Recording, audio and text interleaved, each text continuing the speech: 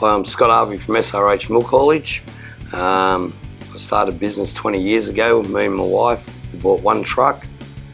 Um, at the moment, we've got about 60 on the road. We cut about a million and a half litres of milk every day. This year is our 20th anniversary. Yeah, New South Wales, we go uh, from Sydney to basically the border of Queensland. We pick up for all the major companies as Murray Goulburn, Lion Nathan, Norco, um, A2 Australia. So we sort of cover all the major ones and pick up only purely off dairy farms and cut to the factories in Queensland and Sydney. Then from there we do Western Australia. There's uh, five companies over there and we do it for the whole five companies, which is the Parmalat, the Brownes, Lion Nathan, Milk Market and A2 Australia again. So uh, between both areas we do about 1.5 to 1.6 million every day of the week, 365 days a year. And we're based at um, 160 Racecourse Road, Rutherford.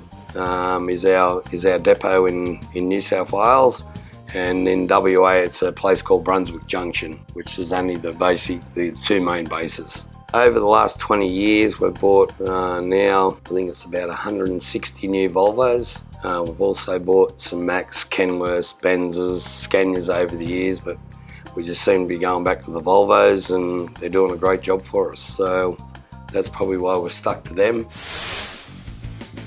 Um, mainly the safety and reliability. So safety's been the big thing for us. The drive, ease of driving. Um, get out at the end of the day and you know feel like you'd probably go again most days. But yeah, it's just the ease of driving. Volvo on its whole has lifted the game and we don't have any downtime, so that's what we're after in this industry, no downtime. We have our own workshop in, in Rutherford where we are, and that's basically 100% trailer work. We don't do any work on the trucks, they're all done through Volvo maintenance contracts, and um, whoever we buy the prime movers off look after the prime movers for us.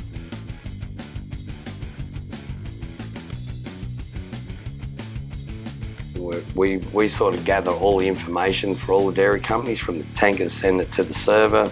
The server defilters into which companies we're carting for, and then uh, we go through it every morning and basically send it off to them at 8 o'clock of the morning. So there's you know no errors in it or anything like that. If a driver's put in a wrong farm number or anything like that, it's easy to pick up and we, we fix it up and send it to our people we cart for.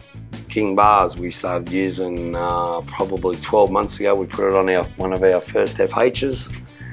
Um, yeah, we found them nice and solid, and probably since then we haven't ordered anything else. We've been putting the King bars on everything. So, so hopefully within a couple of years they'll be on the whole 60 of them. So, hopefully then we'll have more trucks by then, and they'll, they'll go on them. So, but at the moment, yeah, they're going good. So.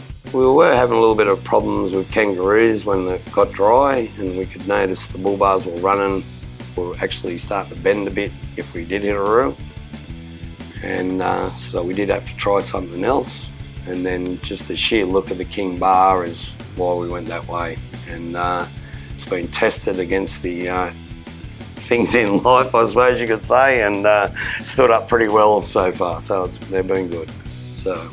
Uh, I think there'll be continued growth. My daughter's um, been working for me for seven years now. Um, she knows everything about the company as, as such. Um, the only thing I really do now is order the machinery like the trucks and the trailers, which is her next step. So once she figures all that out, uh, that's it basically. Handball. no, not really. I'll be helping her out, but yeah, that's what we're basically grooming the daughter to take over.